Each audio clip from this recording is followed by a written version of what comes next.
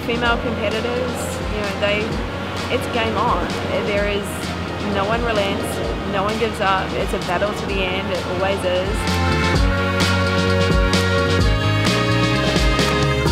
And I think where I'm incredibly lucky is that when I go back to New Zealand, to the Southern Hemisphere, um, for January, February, March, I'm on the water 247, I'm in summer, and I have to race two to three times a week.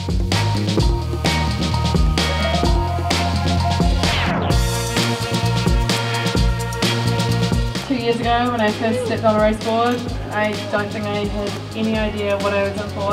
I, I simply can't describe what it is to be crowned a world champion.